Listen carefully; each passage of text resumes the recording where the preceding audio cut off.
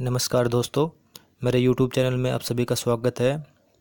दोस्तों, आज मैं आपको एक ऐसी एप्लीकेशन के बारे में बताना जा रहा हूँ, जो कि लीगली इंडिया में है और इंडिया से ही चल रही है अहमदाबाद से। हाँ दोस्तों, मैं जैप की बात कर रहा हूँ। जैप पे एप्लीकेशन टोटली लीगल है और इंडिया से चल रही है और हम इस एप्लीकेशन से कैसे जुड़े और हम जो बिटकॉइन की ट्रेडिंग करते हैं, बिटकॉइन को बाई करना, सेल करना, बिटकॉइन से प्रॉफिट गेन करना है, उन सभी को हम बिटकॉइन यहाँ से बाई करने की जो प्रोसीजर है वो मैं आप, आज आपको बताने जा रहा हूँ। तो सबसे पहले आप मेरे यूट्यूब चैनल को सब्सक्राइब कीजिए। अगर आपने सब्सक्राइब नहीं किया है तो आपको बिटकॉइन से रिलेटेड जितने भी इन्फॉर्मेशन है टाइम टू टाइम आपको मिलती रहेगी।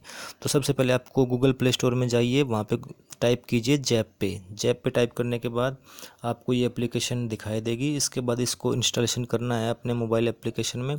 इंस्टॉलेशन करने के बाद जो स्टेप्स हैं वो मैं आज आपको बता रहा हूँ कि कैसे अपना जैप के अकाउंट को वेरीफाई करवाएँ, कैसे इस पर अपना अकाउंट करवाएँ, कैसे अपने जो बैंक का के है वो यहाँ पे अपलोड करें और अपलोड करने के बाद कैसे उसको वेरीफाई कराएँ। तो सबसे पहले आपको ये एप्लीकेशन डाउनलोड करनी है। डाउनलोड करने के बाद आपको जैप पे एप्लीकेशन को ओपन करना है। ओपन करने के बाद आपको वहाँ पे अपना अकाउंट रजिस्ट्रेशन करना है। अकाउंट रजिस्ट्रेशन करने के लिए जो भी स्टेप्स हैं, वो मैं आपको बता रहा हूँ। ठीक है दोस्तों नेक्स्ट करना है। नेक्स्ट करने के बाद आपका जो अकाउंट वेरिफिकेशन है, उसमें आपको पैन कार्ड सबमिट करना है और जो बैंक के डिटेल्स दिए गए हैं, वो सारे आपको यहाँ पे सबमिट करना है। सबसे पहले तो आपको अपना पैन कार्ड अपलोड करना है यहाँ पर, ऊपर, ठीक है। उसके बाद आपको अपना अकाउंट रजिस्ट्रेशन करना है। बैंक का जो डिटेल्स है, वो यहाँ पे अपलोड करना है।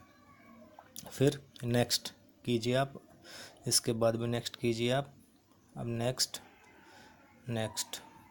सबसे पहले आपको यहाँ पे अपना मोबाइल नंबर टाइप करना है। मोबाइल नंबर टाइप करने के बाद आपको अपना जो मोबाइल नंबर है, उसके बाद एक कोड आएगा मोबाइल नंबर के ऊपर। और कोड आने के बाद आपका जो अकाउंट है, वो वेरीफाई हो जाएगा अच्छी तरह से। और अकाउंट के वेरीफाई होने के बाद आपको क्या करना है, उसमें नेक्स्ट जो प्रोसीजर है, वो फॉलो करना है।